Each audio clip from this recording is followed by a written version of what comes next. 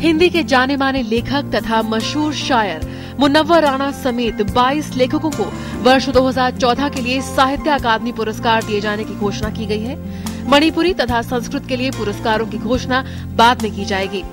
इस वर्ष आठ कविता संग्रह, पाँच उपन्यास, तीन निबंध संग्रह, तीन कहानी संग्रह, एक नाटक, एक आत्मकथा एवं एक समालोचन की पुस्तक को साहित्य सम्मान के लिए चुना गया है।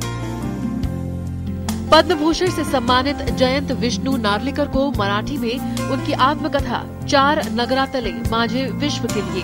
हिंदी के रचनाकार रमेश चंद्र शाह को उनके उपन्यास विनायक के लिए, शायर मुनव्वर राना को उनकी शायरी की किताब शाह दावा के लिए।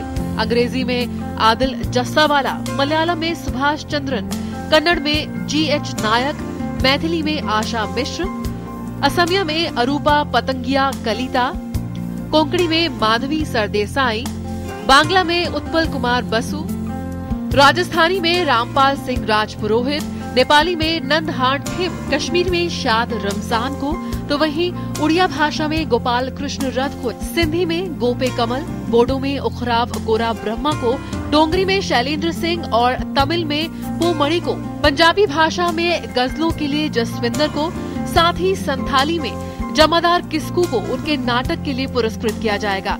और तेलुगु में राजपालेम चंद्रशेखर रेड्डी को समलोचना के लिए पुरस्कृत किया जाएगा।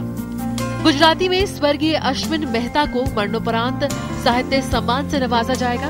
साहित्य अकादमी के 60 वर्ष पूरे होने के जश्न के समापन समारोह के दौरान 9 मार्च 2015 को ये पुरस्कार दिए जाएँगे। Jaya Sinha, DD news, Delhi.